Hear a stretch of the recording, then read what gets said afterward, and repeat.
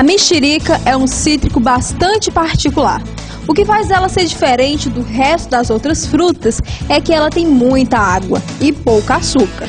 Por isso é ideal para quem quer perder mais calorias. Tá, a mexerica e o brigadeiro, eles têm praticamente a mesma caloria, né? Só que o brigadeiro, gente, ele não é tão saudável quanto a mexerica, né? O brigadeiro, a pessoa, para começar, geralmente, se ela gosta, ela não vai comer só um. Né? E, e, e, o açúcar do doce ele libera um hormônio chamado insulina e na refeição seguinte a fome vem em dobro. Já a fruta, no caso a mexerica, por ser rica em água, por ser rica em fibra, dá a sensação de saciedade. A pessoa vai comer menos na próxima refeição.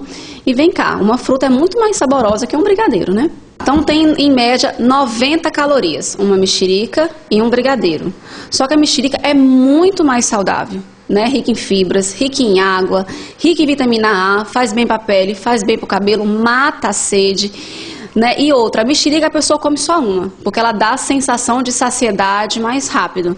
E o brigadeiro, dificilmente a pessoa vai comer só um, né? Porque de certa forma ele acaba sendo mais docinho e algumas pessoas acham ele muito mais saboroso do que a mexerica. Não quer dizer que a pessoa não vai comer o brigadeiro. No dia de festa, numa festinha de criança, tudo bem. Só não vale exagerar. E tem a opção, gente, do brigadeiro de mandioca. Né, que é saboroso, tanto quanto o brigadeiro tradicional, e menos calórico, porque não vai leite condensado. A mexerica tem uma quantidade apreciável de fibras, o que faz bem para o nosso intestino.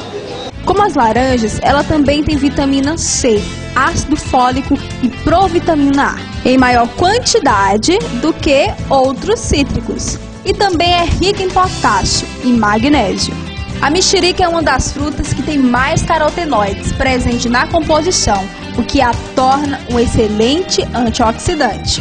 A mexerica é um ótimo alimento para quem tem anemia e é recomendável comer essa fruta nos primeiros meses de gravidez.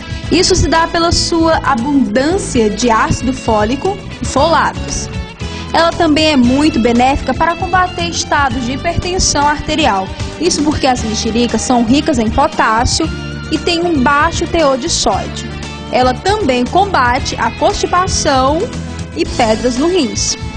Pelos seus componentes, a mexerica faz bem para os olhos, ajuda no desenvolvimento saudável dos dentes e faz bem para a nossa pele.